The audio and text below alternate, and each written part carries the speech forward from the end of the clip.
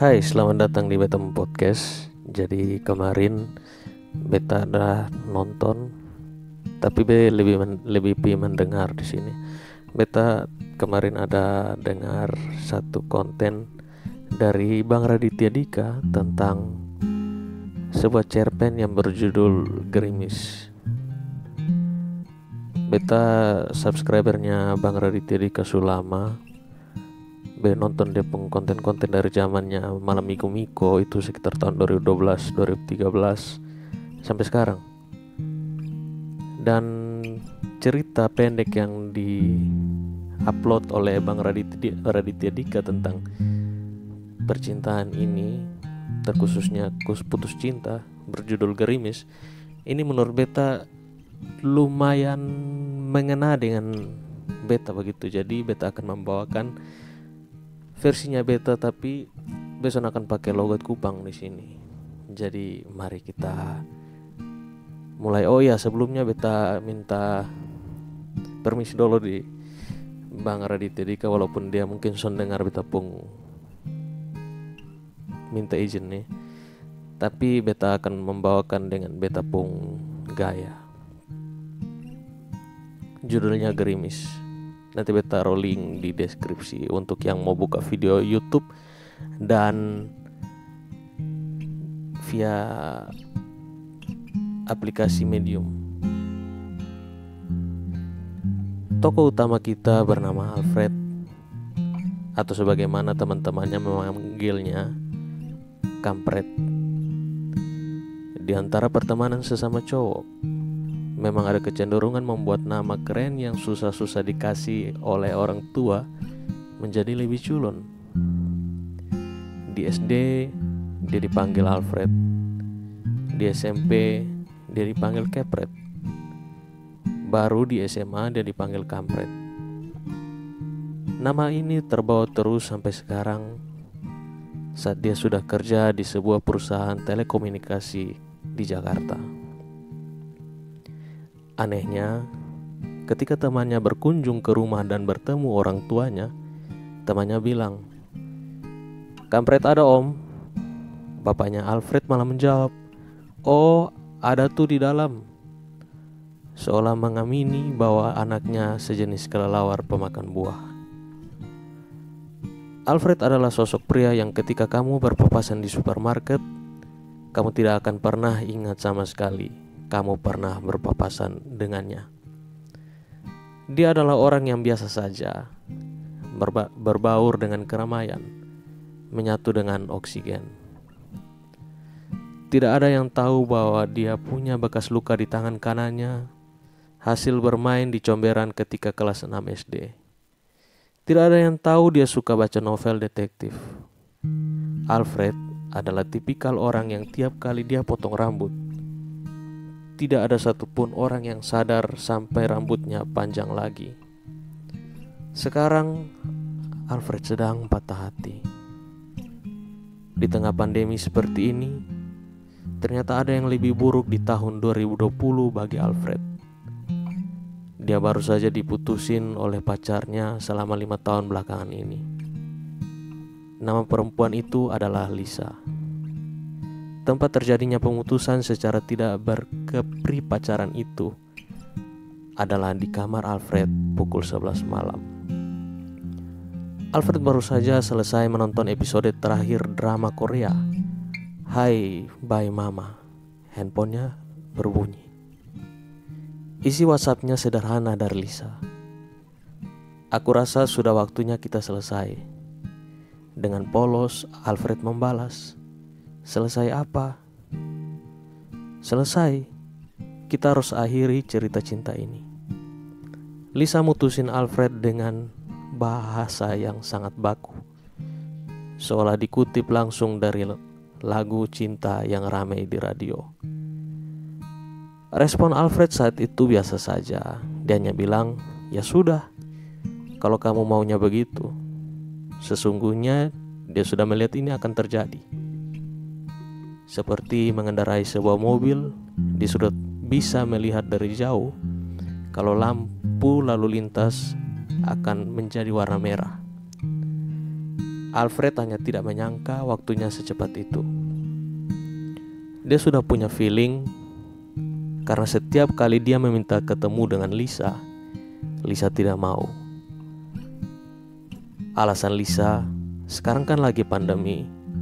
Nanti kamu bawa virus. Bahkan ketika Alfred menawarkan untuk swab test, seharga seperlima dari gajinya setiap bulan, Lisa masih tidak mau. Jangan, kata Lisa. Siapa tahu swab testnya salah. Lah, namanya swab test kok bisa salah? Tanya Alfred. Ya namanya manusia, tidak luput dari kesalahan. Begitu ucap Lisa. Anehnya Lisa masih nongkrong sama teman-temannya. Update di story Instagram dengan teman yang lain tanpa masker pakai stiker good vibes only atau I love Friday. Postingan tersebut juga tidak di close friend yang membuat Alfred bertanya-tanya. Kenapa Lisa tidak berusaha menyembunyikan hal tersebut dari dirinya? Seolah ada sinyal yang dia mau berikan. Setelah Lisa mau bilang, gue emang gak mau ketemu lo lagi. Tapi ya sudahlah, Mungkin hubungan dia dan Lisa harus berakhir. Begitu pikir Alfred. Walaupun lima tahun rasanya waktu yang terlalu lama untuk diakhiri dengan sebuah kalimat sederhana. Ketika diputusin, Alfred tidak nangis. Tidak, dia hanya duduk, memeluk bantal Iron Man kesukaannya, lalu tidak merasakan apa-apa. Aneh ya, Bagaimana putus cinta biasa digambarkan dengan perasaan yang sangat sakit, tapi kali ini yang terasa justru sebaliknya, hampa. Seperti seseorang yang baru saja dipukul di kepala, mungkin respon pertamanya adalah kok gak sakit ya? Eh, tiba-tiba gelap aja, pingsan di tengah jalan. Itu yang terjadi. Tepat lima jam setelah diputusin, Badai memori menabrak pikiran Alfred. Dia menangis hingga dia tidak mengenali suaranya sendiri. Alfred menangis cukup keras untuk ukuran laki-laki 24 tahun. Alfred masih tinggal dengan orang tuanya dan orang tuanya mendengar suara tangisan itu dari kamar mereka. Bapaknya mengetuk pintu kamar, membukanya dan bertanya, "Nak, kamu kenapa?" Bapak Alfred melihat anaknya duduk di atas kasur. Selimut berantakan, air mata membasahi pipinya. Gak kenapa-napa, kata Alfred sambil buru-buru menghapus pipinya yang basah kuyup. Bapak Alfred langsung memeluk anaknya erat dan dalam pelukannya sambil melihat laptop yang masih terbuka. Dia berbisik kepada Alfred, "Papa ngerti kok, Nak. Emangnya emang endingnya Hai bye, mama sangat sedih. Alfred yang enggan membenarkan salah paham ayahnya malah menjawab, Aktingnya Kim Tae Hee emang bagus banget di situ, Pak. Satu bulan setelah putus cinta, Alfred pelan-pelan mencoba untuk beraktivitas kembali. Alfred mulai menerima kenyataan bahwa dia di-unfollow oleh Lisa di Instagram sebuah konfirmasi bahwa dia memang benar diputusin. Karena di zaman sosial media seperti ini, putus cinta baru sah jika semua foto dengan mantan telah dihapus dan akun kita telah di-unfollow. Sebelum itu terjadi, masih ada harapan untuk terjadi keajaiban. Alfred juga sudah mulai menerima kenyataan untuk memasukkan semua barang dari Lisa ke dalam kotak kardus coklat dan menyimpannya di pojok kamar. Alfred perlahan sudah bisa menerima bahwa dia harus melanjutkan hidupnya. Alfred juga tahu di antara hal yang bikin nyesek seperti ini, dia masih bisa bersyukur di tengah pandemi dia masih bisa WFH dari kantor, tabungannya cukup, dan keluarganya semua sehat. Tidak semua orang seberuntung dia. Satu hal yang bikin Alfred susah move on, gerimis. Dalam setahun pertama mereka pacaran, Alfred pernah mengantarkan Lisa pulang. Saat itu sedang ada gerimis. Lisa bilang kepada Alfred, "Aku suka gerimis." Pas aja gitu, belum sampai hujan yang bikin orang kedinginan, tapi udah tidak mendung yang bikin orang muram. Gerimis itu hawa yang pas buat aku. Alfred membalas pada saat itu. Gerimis juga saat yang tepat untuk jatuh cinta. Ih, apa sih Nora?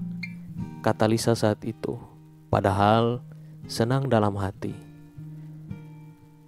Di bawah gerimis sore itu di dalam mobil Alfred, api di dada mereka berdua terasa begitu hangat. Tiga bulan setelah putus, Alfred masih belum mau menyetir mobil ketika mendung. Dia tidak ingin ada di tengah gerimis dan semua memori malam itu luber keluar tanpa kendali. Di saat ini juga Alfred melihat sebuah iklan sederhana dari postingan seorang temannya, Drive-in Cinema. Nikmati pengalaman nonton di layar besar film-film di bioskop dari dalam mobil. Alfred sudah kangen sekali menonton film layar lebar dan nonton di dalam mobil adalah solusi yang paling masuk akal di tengah pandemi seperti ini. Alfred berencana membawa mobilnya Toyota Corolla tahun 2008 yang dia dengan bangga beli dengan tabungannya sendiri. Biar bekas, yang penting tidak ngutang, kata Alfred setelah berjabat tangan dengan pemilik sebelumnya. Ketika Alfred menutup pintu mobil itu, ingatan terhadap Lisa kembali terjadi. Sekalabat Memori antar jemput Lisa dari kantor ke rumahnya hampir setiap hari terngiang kembali di kepalanya. Air matanya tidak dia sadari kembali menggenang. Di luar, ibu Alfred yang sedang membaca buku di teras rumah melihat anaknya menangis. Pa, kata ibunya, memanggil bapaknya. Ya, ma, kata bapaknya mengampiri. Kayaknya Alfred harus ngurangi nonton drama Korea deh. Bapaknya mengangguk setuju. Mobil Alfred menembus jalanan yang ramai seolah-olah tidak ada pandemi yang sedang terjadi. Dia memasukkan mobil di tengah mobil-mobil lain. Seorang karyawan drive-in datang membawa popcorn. Aroma jagung bakar yang sudah enam bulan itu tidak dia hirup. Ternyata hal-hal kecil seperti ini yang dia rindukan. Maklum, dua minggu sekali dia pergi bersama Lisa ke bioskop. Film yang bermain hari itu adalah Grease, sebuah film tahun 1978. Alfred menyandarkan kursinya, dia melihat film tersebut bermain. Pikirannya justru mengawang-awang. Dia tidak menyimak Gambar yang bermain di depannya terlihat hanya seperti potongan-potongan adegan tanpa arti karena pikiran sibuk berjalan sendiri. Dia berandai, kalau gue masih pacaran, Lisa mungkin ada di sebelah gue. Di tengah-tengah film, tiba-tiba pintu kacanya diketuk. Alfred menoleh ke arah kaca. Jantung Alfred berhenti dua detik saat dia tahu yang mengetuk adalah Lisa. Lisa mengernyitkan alisnya. Dia terlihat gusar. Lisa buru-buru ke arah pintu penumpang. Dia mencoba membukanya, tapi pintu masih terkunci. Buka kuncinya, kata Lisa. Alfred masih bengong. Buka kuncinya, Fred. Ya, kata Alfred. Ngomongnya agak tergagap, ada di ambang kaget dengan tidak siap. Melihat mantan pacar seperti ini, seperti melihat hantu. Sesuatu yang pernah hidup, tapi sekarang gentayangan. Lisa masuk ke dalam mobil Alfred. Dia memakai baju pink hari itu. Rambut ikalnya terlihat bercahaya diterpa gambar dari layar besar di depan mobil. Alfred masih bengong, tidak siap dengan ini semua. Dia masih belum mengucapkan satu patah kata pun. Kamu ngikutin aku? Tanya Lisa. Suaranya cukup jelas untuk didengar di antara dialog dan musik film yang masih terus bermain. Ngikutin, balas Alfred. Iya, kamu ngikutin aku ke tempat ini. Aku tadi lagi nonton di depan, terus aku lihat ke sebelah kiri ke belakang. Kok ada mobil kamu? Fred, ini serem loh. Gak ada yang ngikutin siapa-siapa, balas Alfred. Terus, kenapa kamu di sini? Tanya Lisa. Ya, seperti semua orang lainnya di sini sih, mau nonton Grease. Kamu ngapain di sini? Sama, seperti semua orang di sini. Ada hening yang tidak enak selama beberapa saat. Kamu gak takut? Tanya Alfred. Takut apa? Ini masuk ke mobil aku. Kemarin-kemarin kan kamu nolak ketemu gara-gara takut virus. Ini sekarang kamu kok bisa langsung masuk ke mobil aku? Lisa tersadar lalu bertanya, Tapi kamu di rumah aja kan? Iya di rumah aja gak ke mana-mana Gak ketemu siapa-siapa Papa mama juga Jawab Alfred Kamu? Besok satu kantor mau keluar kota. Udah dibayarin swab sama bos. Semua dites, kata Lisa.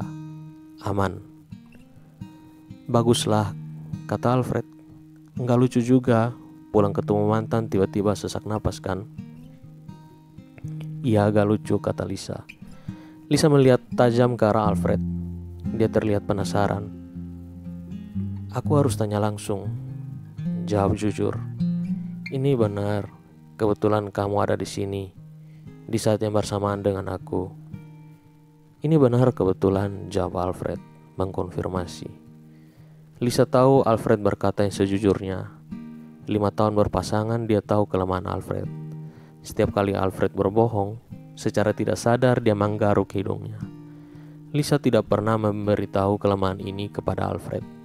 Sungguh, Berkah seorang pacar adalah kemampuan untuk mendeteksi kebohongan pasangannya. Lisa menghela nafas panjangnya. Dia lalu memegang gagang pintu, bersiap untuk keluar.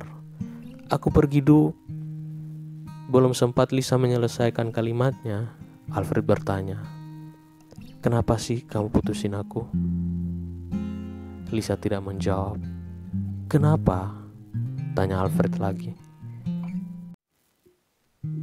Ini benar-benar mau dibahas nih, tanya Lisa. Yang tidak selesai harus dibahas dong. Buat aku udah selesai, kurang jelas apa lagi. Foto udah aku hapus, kamu udah aku unfollow, kata Lisa. Buat aku belum. Alfred melihat mata Lisa. Jadi kenapa? Cintanya hilang. Jawab Lisa singkat. Hilang Iya, suatu hari aku bangun, teleponan sama kamu, terus udah gak ada apa-apa. Aku gak ngerasain apa-apa lagi, kata Lisa. Hilang begitu saja. Aku juga gak ngerti. Jujur, aku juga bingung kenapa aku begini. Bosan, tanya Alfred. Mungkin, tapi yang jelas Penjelasan paling sederhana, cintanya sudah tidak ada lagi. Maaf, itu sejujur-jujurnya. Aku juga gak tahu kenapa. Mungkin sekarang kita udah jadi orang yang beda. Lima tahun itu waktu yang lama loh, kata Alfred. Dan aku gak mau menghabiskan lima tahun lagi dengan orang yang salah, ucap Lisa. Mungkin ini sakit buat kamu, tapi mendingan sakit sekarang dibandingkan sakit nanti-nanti. Alfred terdiam. Dia lalu melihat tajam ke arah Lisa. Kamu salah sih. Aku gak berubah. Aku orang yang sama dengan ya-, yang kamu temui lima tahun lalu. Aku orang yang sama yang ngantri di belakang kamu di, di KFC Kemang. Aku orang yang sama yang kamu minta tolong malam itu. Aku masih ingat kamu ada di depan kasir sendirian, mau bayar makanan, terus kamu nengok ke belakang, kamu bilang, sorry, boleh pinjam 50 ribu gak? Gue janji bakal gue ganti. Gue gak bawa duit. Maaf banget. Habis itu kita kenalan, lalu kita makan satu meja. Aku masih ingat itu semua kata per kata. Aku orang yang sama Lisa. Aku masih sayang kamu. Iya, kata Lisa. Tapi aku orang yang beda. Alfred terdiam. Alfred dengan gusar berkata, "Terus ingatan-ingatan kita gimana? Kamu mau apain? Aku ada loh ketika kamu lulus. Aku ada ketika kamu butuh interview kerja. Sampai malam aku temenin kamu latihan pakai bahasa Inggris. Kamu gak bisa gitu dong, balas Lisa. Aku juga ada kok pas kamu minta ditemenin skripsi di perpustakaan daerah. Aku ngorbanin gak ngumpul sama teman-teman vokal grup aku. Aku juga ada. Berpa berpasangan bukan masalah hitung-hitungan, Fred. Ini sederhana. Aku sudah berubah. Cintanya sudah hilang, kata Lisa. Apa yang berubah? Kata Alfred. Semuanya. Mimpi aku, sifat aku, selera aku. Band yang kita dengerin dulu bukan lagi favorit aku. Silon Seven, tanya Alfred. Itu masih. Lisa memandang Nanar ke depan. Yang lainnya tidak. Kamu kalau dalam posisi aku juga pasti begini, Fred. Kamu mau kita masih pacaran, tapi pasangan kamu sudah gak ada rasa.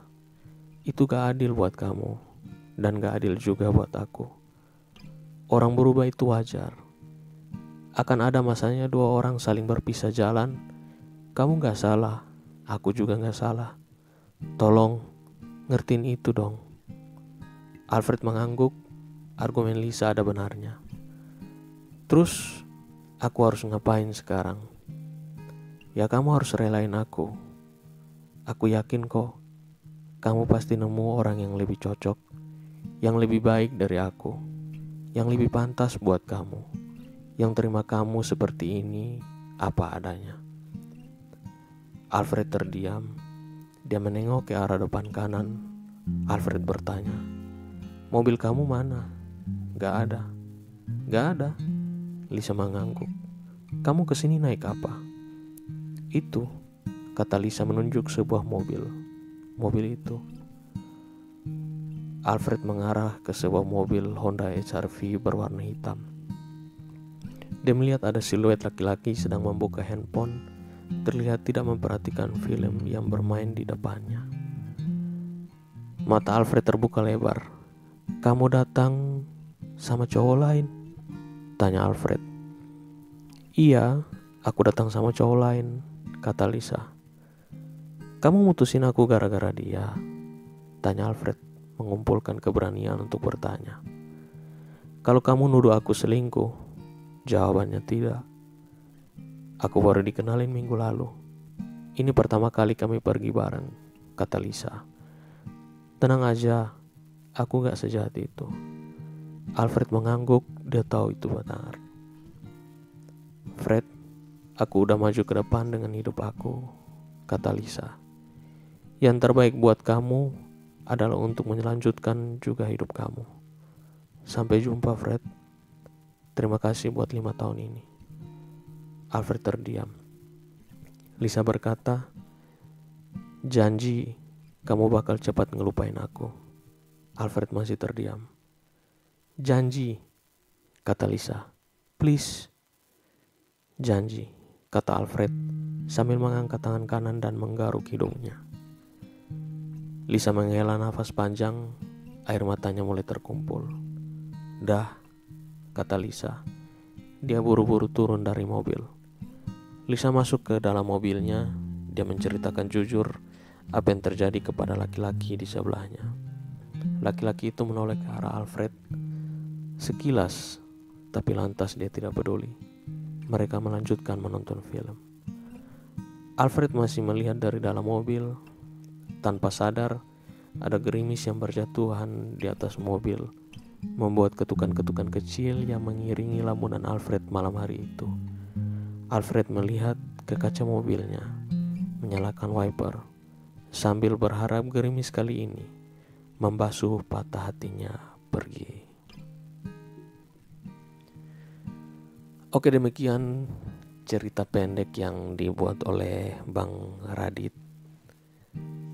Sebuah cerita yang mungkin kalau orang-orang yang kenal beta mungkin dia rasa bahwa bisa ngajak membuat ini episode bacot ini kali membawakan cerita seperti ini. Mungkin dong pikir beta mau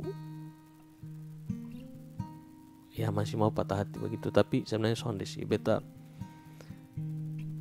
beta hanya mau membacakan cerita yang sebenarnya beta mau tulis cerita kayak begini tapi son punya kemampuan untuk mengolah kata-kata sebaik Bang Radit ya Dika. Jadi menurut beta ini semua wakili apa yang beta pernah rasakan dan beta membawakan versi beta dan supasti bepung versi ini kurang baik untuk didengar. Ada beberapa bagian yang menurut beta juga sonde terlalu bagus ya beda lah mau menyamakan beta dengan Bang Radit kan soalnya mungkin. Satu sekali lagi ini eh, satu apresiasi buat Bang Radit yang sudah membuat cerita sebagus ini. Sebuah cerpen yang mungkin sone sone terlalu panjang tapi sone terlalu pendek. Tapi ini cerita betul-betul bagus. Oke mungkin hanya itu sah podcast ini kali. Kalau kan kandung ada mau request mau bahas apa mungkin mungkin untuk selanjutnya. Beta soalnya mungkin tulis apa yang atau bawakan apa yang kawan-kawan request atau mau begitu. Beta hanya mau menceritakan atau mau membawa satu materi yang pengen beta bawa sebegitu. Semoga apa yang beta keluarkan untuk kawan-kawan itu bisa mengena untuk semua orang. Bukan hanya karena seseorang yang pengen sekali dibawa itu materi. Jadi sampai jumpa di podcast-podcast selanjutnya. Kalau kawan-kawan dong berkenan dengan ini podcast kawan-kawan dong bisa like ada saran mengenai Bebung Gaya menyampaikan mungkin kurang bagus kan kan bisa tulis di kolom komentar atau DM nanti link Instagram betulis di kolom komentar atau di deskripsi. Kalau suka boleh subscribe kalau boleh bisa share juga. Yang suka boleh dislike. Oke sampai ketemu di podcast podcast selanjutnya.